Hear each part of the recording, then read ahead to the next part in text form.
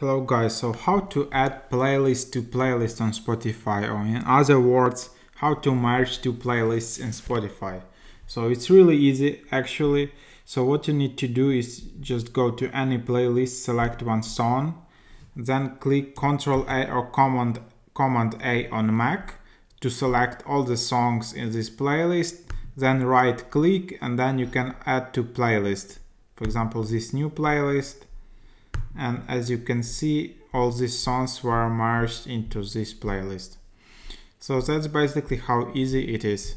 Thanks for watching, please subscribe to this channel and see you in the next videos.